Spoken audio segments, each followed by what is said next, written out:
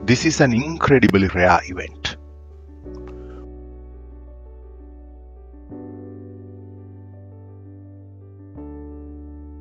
What did the impala say to crocodile? Surprisingly, it lets the prey escape.